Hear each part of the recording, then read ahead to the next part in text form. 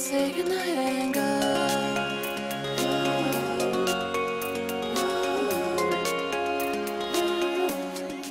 Why'd you have to be so?